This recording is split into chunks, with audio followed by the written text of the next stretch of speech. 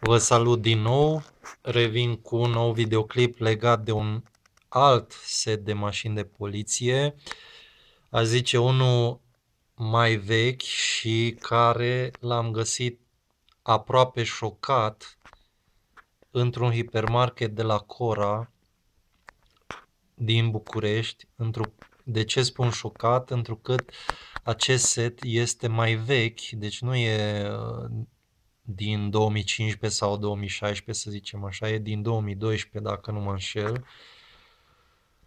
Și pur și simplu l-am uh, văzut doar pe internet, deci putea fi achiziționat uh, oricând de pe internet, prin site-urile specializate gen Amazon sau eBay, dar evident că acestea implică anumite costuri și te pune pe gânduri dacă merită să iei sau nu, dar așa, găsind în hipermarket, n-am ezitat nici măcar o clipă, întrucât uh, de mult îmi doream uh, un exemplar din această mașină. În cele din urmă am comandat și câteva de pe internet și am să vi le arăt și pe acestea într-un alt videoclip comparativ cu acesta. La fel, aceste două uh, modele sunt ceva mai vechi și mă bucur că am avut șansa să le achiziționez. Iar acesta este un model care îl puteți găsi și uh, în ziua de astăzi. E un model care apare și individual, deci nu ar fi o problemă, dar mi se pare foarte reușită și această mașină. Chiar dacă veți vedea e din plastic, partea de deasupra e foarte bine realizată.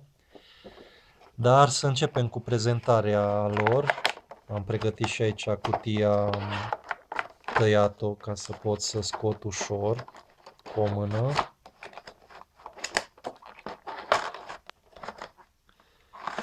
Așadar să încep cu prima mașinuță care de fapt este un elicopter și e destul de bine băgată. N-aș vrea să o stric. În sfârșit, în cele din urmă am scos-o. Acum am observat că se scoate această coadă.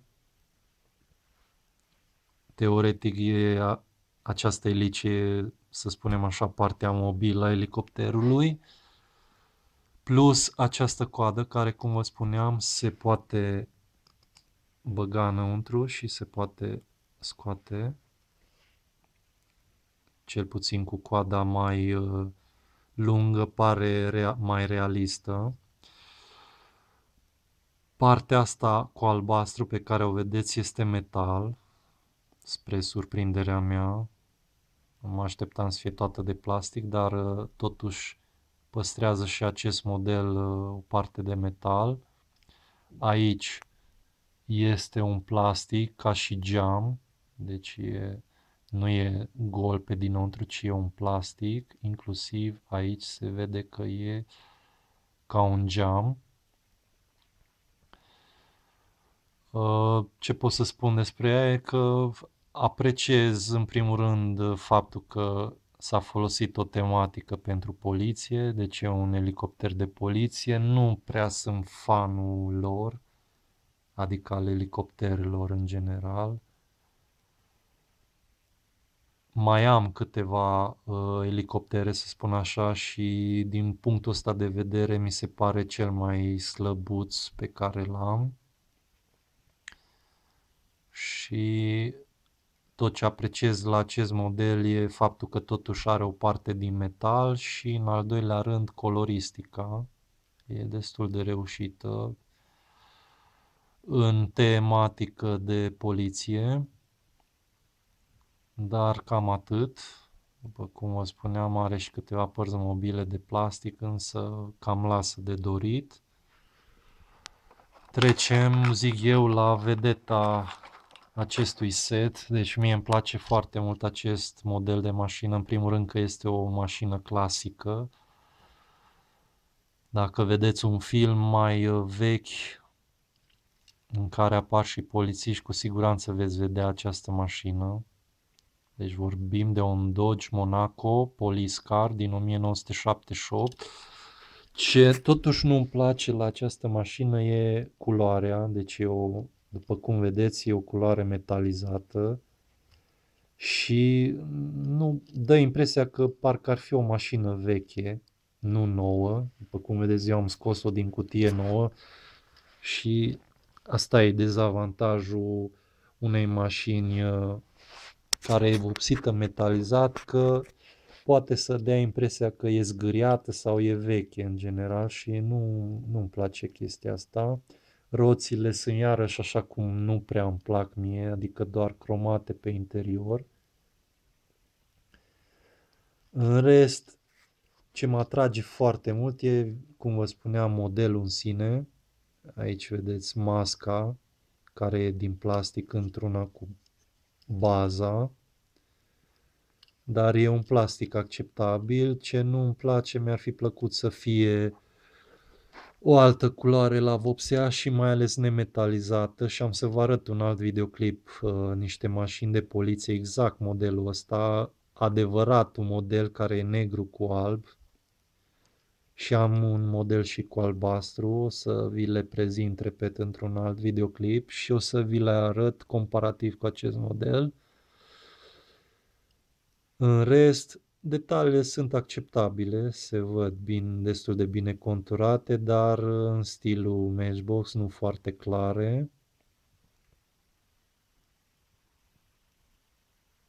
Din punctul ăsta de vedere seamănă cu o mașină Hot Wheel, dar repet, mult mai bine realizate detaliile, deci finisajele sunt mult mai reușite ca la o mașină Hot Wheel. Community Protection scrie acolo, destul de mic, dar am reușit să focalizez îndeajuns să citesc și eu. Deci mașină de poliție, sheriff, deci parcă îmi și imaginez un film în care apare șeriful localității respective într-o astfel de mașină și acest girofar e ok, doar că poate arăta mai bine dacă era culoarea roșie sau măcar albastru, cum am văzut la alte mașinuțe. Deci Dodge Monaco. Trecem la următoarea mașină la care îmi plac foarte mult roțile. Sunt roțile clasice Matchbox care îmi plac mie, cromate în întregime, cu șase spițe, roțile acelea zimțate, deci vorbim aici despre un Ford Explorer, prima apariție 2012, deci chiar a fost debutul, să zic așa, în acest set, anul de debut. După cum spuneam, și setul e din 2012. Se văd niște detalii sus, din plastic, deci porțiunea asta e plastic, nu știu dacă sunt două girofaruri sau cum să interpretez aceste detalii. E o mașină de poliție, după cum spuneam, deci mașină de șerif. În spate cât de cât conturate stopurile. În față se vede grila de la radiator și acel uh, oval simbolizând Ford, simbolul Ford și acest spoiler care e într-una cu partea de jos de plastic. Partea cu alb care o vedeți este metal. Deci ce îmi place și aici este modelul în sine, mașină de teren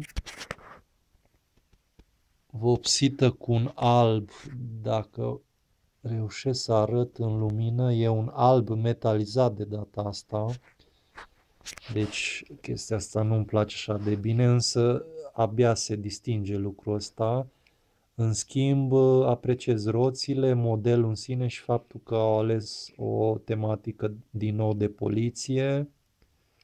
Dar vă pot spune că există această variantă mai bine realizată, tot cu culoarea neagră și cu stea de șerif, care, ă, să zic, e modelul original și arată mult mai bine ca această variantă. dar decât deloc uh, ca și marcă de mașină o accept și pe asta. Deci vorbim de un Ford Explorer, mașină de poliție, culoarea alb metalizat, destul de ok per ansamblu, dar aș prefera acea variantă originală în culoare neagră. Trecem la următoarea mașină care deja după cum pun mâna este plastic și partea de jos este acel metal chicios chinezăresc care nu îmi place mie.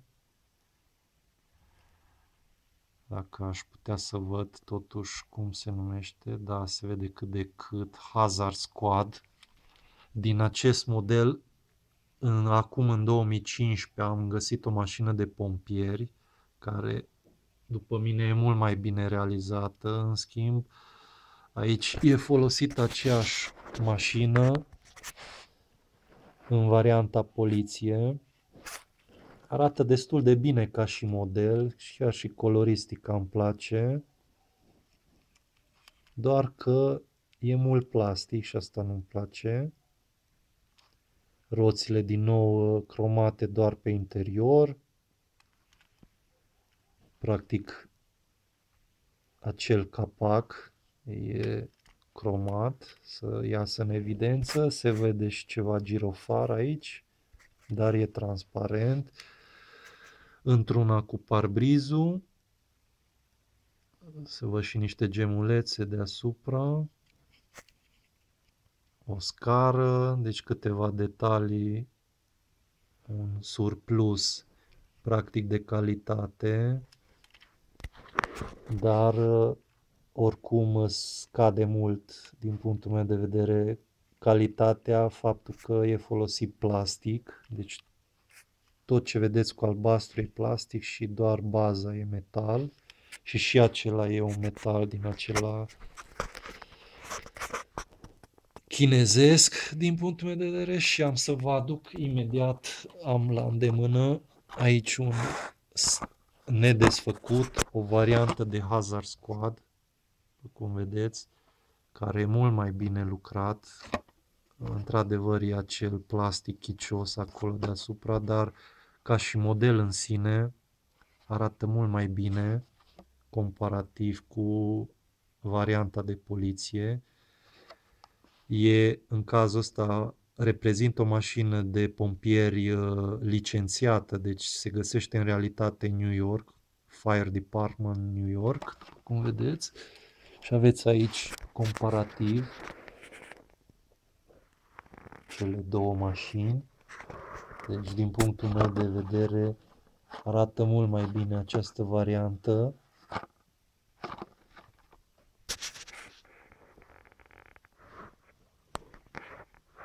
Comparativ cu asta de poliție, doar că fiind de poliție m-a atras, orice mașină de poliție mă atrage, doar că rămâne nemulțumirea materialului de plastic. Și acum ajungem la ultima care, repet, chiar dacă e de plastic, cred că e singura mașină care o apreciez ca și mașină de plastic și totuși arată foarte bine. Din nou baza e acel metal chicios care nu-mi place, dar nu prea se uită nimeni la bază.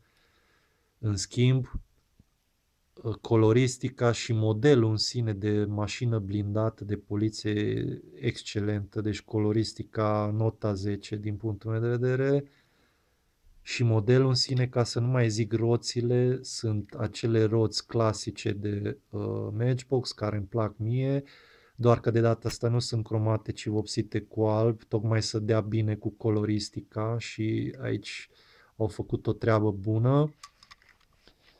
Repet, îmi place foarte mult acest model, chiar dacă e de plastic, e poate singura mașină care e cu plastic și parcă aș mai lua încă câteva bucăți, numai pentru acest fapt, pentru cum arată. Arată foarte bine.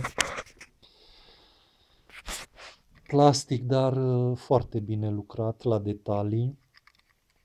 Întrucât mă apropiu de final, din nou mă opresc. Acesta a fost un nou set de poliție, toate cele bune.